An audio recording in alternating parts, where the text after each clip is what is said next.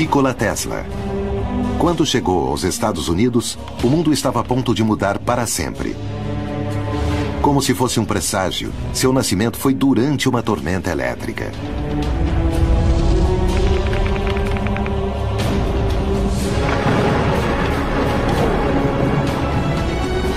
Desde muito pequeno ele tinha visões, era meio místico e se imaginava no futuro ah, controlando a água e controlando a eletricidade. Seu pai era sacerdote e queria que Nicolas seguisse seus passos.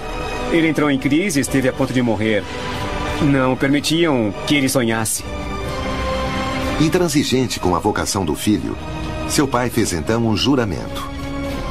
Se seu filho sobrevivesse, permitiria que ele estudasse engenharia. Tesla ouviu que se ele se recuperasse, poderia fazer o que ele, o que ele desejasse. Então tomou a decisão de estudar engenharia. Tesla não era uma estudante comum. Logo se destacou, e seus professores não entendiam a sua capacidade de realizar operações de cálculo avançado em sua mente. Essa mente poderosa o levou a vislumbrar o futuro. Durante uma visão, Tesla desenhou um diagrama de sua invenção na areia. Logo nasceria a corrente alternada. Algo que usamos todos os dias no mundo todo para transmitir a luz elétrica.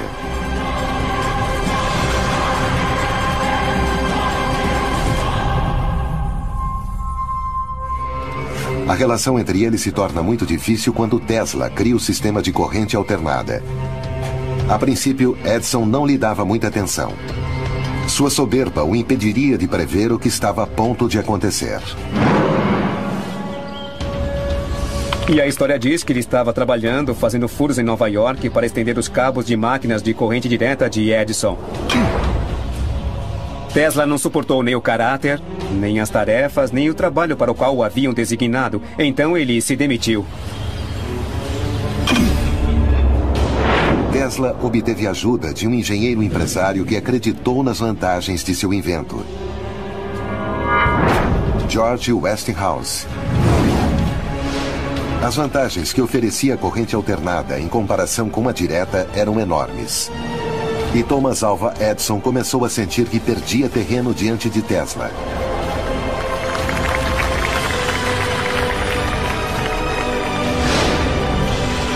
Então começou a criar publicidade negativa sobre o invento de seu rival, executando animais em público para difamar a corrente alternada.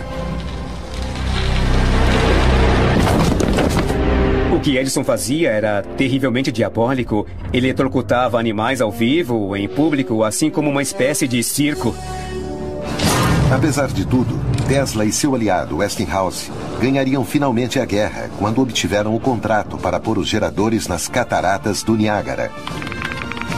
Recebendo tanta publicidade que Edison foi incapaz de sabotá-los. Conta-se que, até 1910, 1912, o Comitê de Prêmio Nobel de Física havia postulado a Edison e a Tesla para o Prêmio Nobel de Física. O que se diz é que nenhum dos dois aceitou dividir o prêmio Nobel e a decisão foi então para nenhum dos dois. Tesla ainda teria que lidar com um inimigo muito mais poderoso. J.P. Morgan. Ao negar um pagamento a Tesla, Edison se excusou, dizendo que seu funcionário não entendia o humor americano. Segundo o empresário, tudo havia sido uma brincadeira. Tesla estava tão mal que decidiu demitir-se e acabou montando sua própria companhia elétrica. Nikola Tesla imaginou um mundo onde a energia fosse um recurso infinito.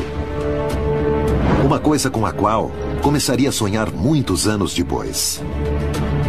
Nós o vemos nas caricaturas como os Jetsons. Toda essa imaginação coletiva que tinham do futuro, da imponderabilidade de que a energia era vasta. Para ele, a energia podia ser retirada das tormentas, das correntes de água, do sol e, inclusive, dos raios cósmicos. Essa energia poderia ser transmitida de maneira sem fio a qualquer dispositivo receptor.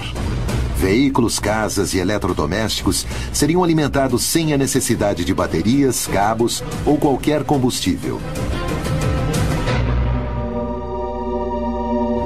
Tesla entendeu a energia como um elemento ao nosso redor, que podia ser transmitida e recebida através do espaço, não necessitando inclusive de condutores como cobre. Seu sonho era poder aproveitar uma energia livre, sem barreiras e inesgotável.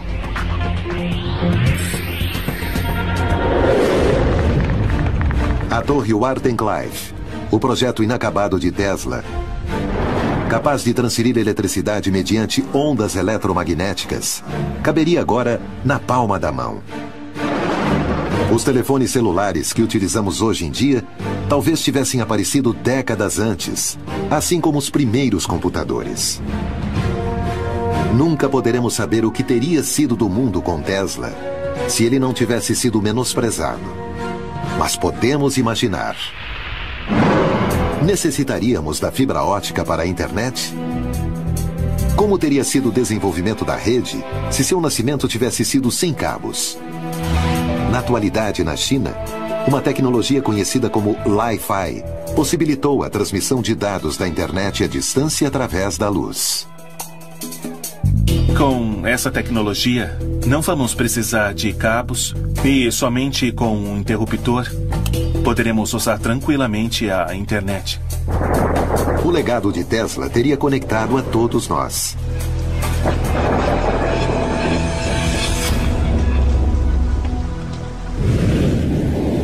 Há casos similares ao de Tesla na América Latina, como do psicanalista brasileiro Norberto Kepp. Esse pesquisador, assim como Tesla, acredita que a energia é algo que nos rodeia. Ele disse que o vácuo é repleto de energia. E o próprio vácuo é a energia. Os planetas, o corpo humano, a matéria não se sustentam no universo por causa de forças intrínsecas à própria matéria. Mas seriam é, sustentadas por uma energia que envolve a matéria. Dois engenheiros, César Sous e Roberto Frascari, decidiram pôr a revolucionária teoria do Dr. Kepp em prática. Fabricando um motor muito versátil, que utiliza a energia que se encontra no ar e a matéria para o seu funcionamento. Motor cap pode substituir qualquer tipo de motor. Os que funcionam com velocidade, os que funcionam lentamente, os que têm maior torque, os que têm baixo torque e sempre com uma eficiência superior. Um motor que vai economizar de 70 a 90% da energia de que o Brasil precisa. O que é que impede ou evita que o motor cap seja conhecido e receba maior apoio? Agora nós fazemos isso com nossos próprios recursos e é muito difícil a gente conseguir sócios ou investidores nesse sentido, porque há muitos interesses envolvidos. Imaginem quantos interesses, quantas empresas, quantas multinacionais estariam envolvidas. Parece que as dificuldades encontradas por esses pesquisadores são sempre as mesmas. Suas descobertas são vistas mais como ameaças do que como avanços?